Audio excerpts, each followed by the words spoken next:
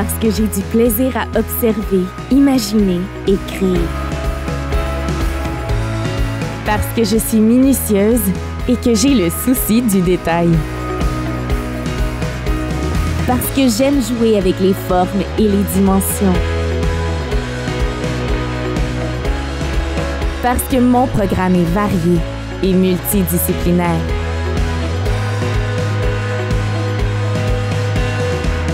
Parce que j'ai la chance d'exposer mes œuvres dans un cadre professionnel.